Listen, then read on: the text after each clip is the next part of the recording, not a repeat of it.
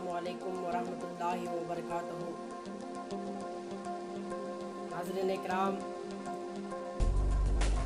आप तो बखूबी जानते हैं कि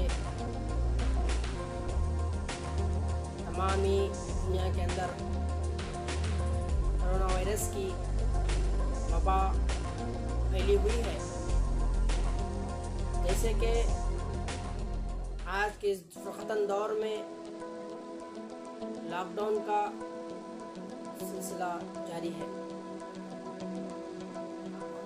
जिसमें बहुत से गौर करने की बात है कि कहीं ऐसी जगह देखा जा रहा है, मुसाफिर ऐसे ऐसे इलाकों में अटके हुए हैं, वो एक जगह से दूसरी जगह नहीं आ पा रहे हैं। और उसके साथ साथ मजदूर लोग, बहुत से लोग अपने घरों को भी जा नहीं पा रहे हैं। चंद अदारे तंजीमें सोशल एक्टिविटीज़ जितने भी अशिया अदारे हैं, वो अपने तरीके से काम कर रहे हैं। हमें हुकूमत, हिंद से भी आजीज़ाना गुजारिश है कि वो भी गौर करें, गौर करके इन लोगों की इमदाद करें। चंद लोग मुफलिस गरीब तबका बहुत परेशान तो है, मगर आप लोग ये भी सोचेंगे तो मिडिल मिडिल क्लास का जो तबका होता है, वो भी बहुत बहुत परेशान है। जब आप लोग मिडिल क्लास को अशिया सामान नहीं पहुंचाएँगे तो गरीब भी बहुत मजबूर हो जाएगा। मिडिल क्लास लोग ही गरीबों की इमदाद में लगे हुए हैं। इसीलिए चंद जगह लॉकडाउन का सिलसिला चल रहा है चंद जगह लॉकडाउन हटाया गया है। और इतदादी तदाबीर के साथ लॉकडाउन चल रहा है।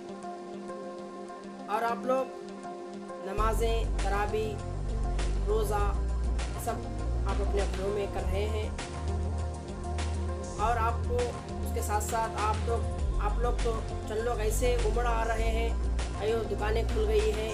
हम जाएँगे, बाज़ार में ख़रीदारी करेंगे। हाँ सबके लिए तिजारत ज़रूरी है। जब तक आप तिजारत वो लोग नहीं करेंगे, तब तक उनके घरों की रोज़ी रोटी चलेगी। आप लोग ये जानते हैं कि मुसलमानों का नाम हर जगह बदनाम हो चुका है। मुसलमानों की बहुत मीडिया ने धज्जियाँ उड़ा चुकी हैं। आप लोग, इसीलिए आप लोगों से किया जाता है कि आप लोग बाज़ारों को ना जाएँ। ईद अपने घर में फाखा खुशी से मनाएँ। यानी कि पुराने कपड़े, यानी कि आपके कपड़े होंगे तो आप धुल धोकर पहने तो आइन गुजारिश होगी।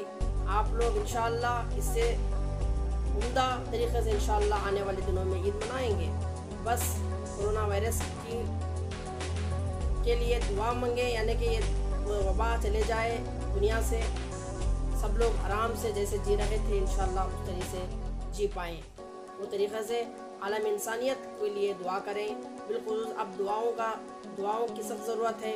ईद की कपड़ों कपड़ों की और शॉपिंग की हमें ज़रूरत नहीं है।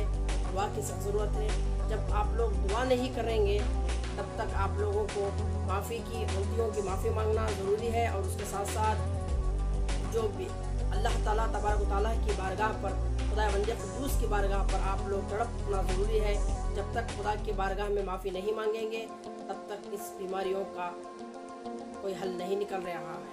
निकलेगा। आप लोग इंजॉय करने के ख्याल में आप लोग रोज़, रोज़ा रहकर इफ्तारियों के ख्याल में रह जाएँगे तो आप लोग आप लोग खुद गलत फहमी के शिकार होंगे, इसीलिए गफलत के शिकार होंगे।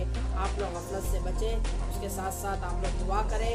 नमाज़ में नमाज़ में दुआ करें इफ्तारी के वक्त दुआ करें, हर ईशान के बाद और बिलखसूस तहजद के वक्त दुआ करें। तहजद का बिलखलूस अच्छा मौका रमज़ान में है। आप लोग उठते हैं शहरी को, उससे पहले दो रखा तहजद की नमाज़ पढ़ लें। आप लोग जितना हो सके उतने तरीके से नमाज़ पढ़ें। पढ़ कर अल्लाह की बारगाह पर दुआ करें। तनहा बैठ कर आप दुआ करें इन उस, इस बीमारी को निजात अदा इस बीमारी से हमें तमाम को निजात अता फरमाएँ।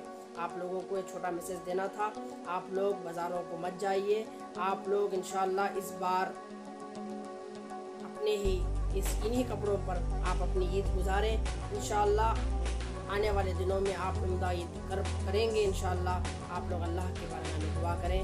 करीब का ख़ास ख्याल रखें, आप ईद की खुशी तमाम लोगों को साथ लेकर बांटें। आपके बाजू गैर मुस्लिम भी होंगे और मुसलमान भी होंगे और उसके साथ साथ आप लोग आलम इंसानियत का ख्याल रखकर सब लोगों की इमदाद मदद करें। अल्लाम